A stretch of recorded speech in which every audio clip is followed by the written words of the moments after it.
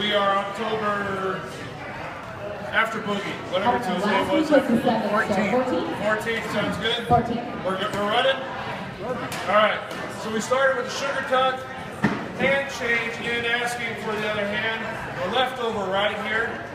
We're starting out with a side pass, hammer lock, and combing the hair. Followers either here or you can also go here.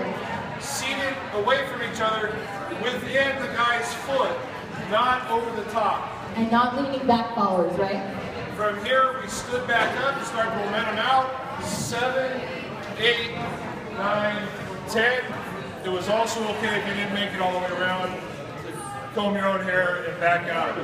Uh, And followers, we were just marking time, right? Giving our leaders a chance to practice their turns. the one other out was much easier. We did this, and we just allowed it with a simple hand change and finished up that way. A lot that we talked about in class, we're not doing right now because we started this late.